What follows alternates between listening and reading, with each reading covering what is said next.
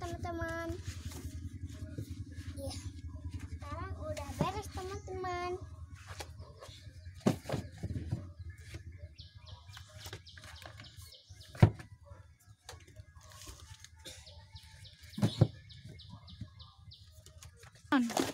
Sekarang aku udah rapiin bukunya